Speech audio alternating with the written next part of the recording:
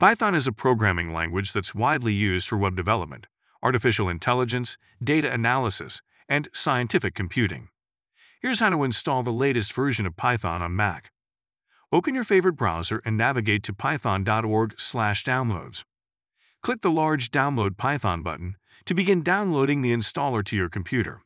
Once complete, double-click to launch the Python install package from your Downloads folder.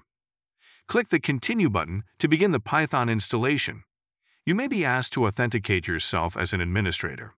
Step through the installation process, clicking OK if asked to provide access to the files in your Downloads folder.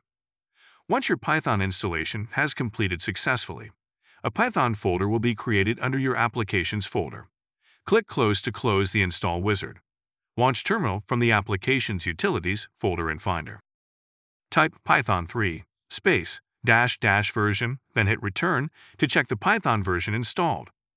To launch the Python shell, type Python 3, then hit Return. To test Python, type the following line of code.